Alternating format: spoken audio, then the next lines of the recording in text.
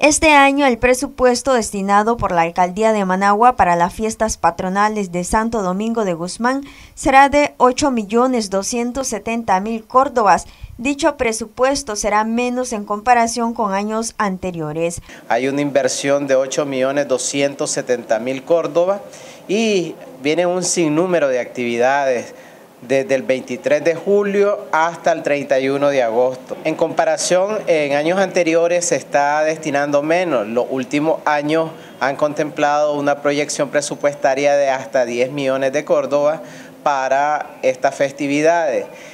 El año pasado se dio por lo de la pandemia más virtual y ahora sin duda alguna con los reajustes que se han hecho, se ha dado cuenta la alcaldía que es menos la inversión que se tiene que dar.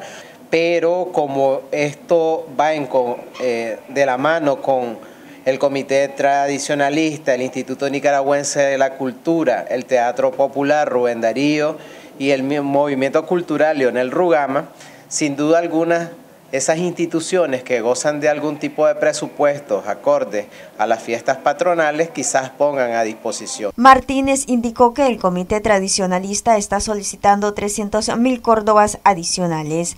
Quiero decirte que eh, el comité tradicionalista trae su presupuesto, lo presenta ante la alcaldía y obviamente se destinan los recursos necesarios simplemente presentan un, presupuesto y, se les asigna diferentes recursos.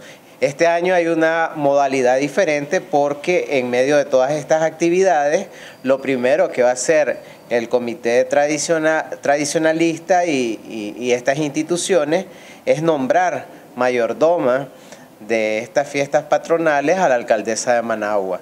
Noticias 12, Darlene Telles.